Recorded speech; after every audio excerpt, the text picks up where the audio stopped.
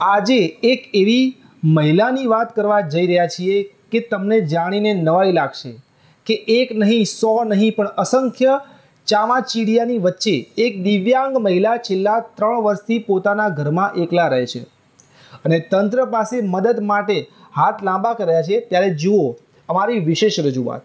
સાબરકાંઠા જિલ્લાના પ્રાંતિજ બજાર ચોક વિસ્તારમાં આવેલ ગુજ્જરની પોળમાં રહેતા કલાબેન પ્રવીણચંદ્ર પંડ્યા કે જેઓ પોતે આંખે દિવ્યાંગ છે અને પોળમાં આવેલ પોતાના મકાનમાં કેટલાય વર્ષોથી તેઓ એકલવાયુ જીવન વ્યતીત કરી રહ્યા છે.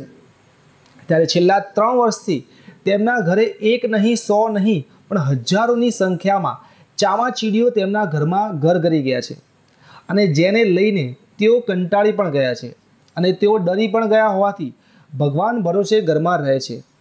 તો પોતે આંખે દિવ્યાંગ હોવાથી પોતાની રીતે ઘરનું કામકાજ પણ જાતે જ કરી લે છે. તો તેમના ઘરે તેમની મદદ માટે ચામાચીડિયાઓની બીકે કોઈ પણ વ્યક્તિ તેઓની મદદ કરવા તૈયાર થતું નથી. તો હાલમાં પોતે આંખે દિવ્યાંગ હોવાથી તેમના ઘરમાં કેટલાક ચામાચીડિયા છે. તેઓ દેખી એ ગણી પણ શકતા નથી.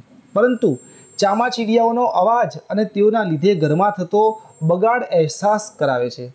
ત્યારે હાલમાં તેઓ આ ચામાચીડીઓને લઈને તંત્ર સામે હાથ લંબાવ્યો છે.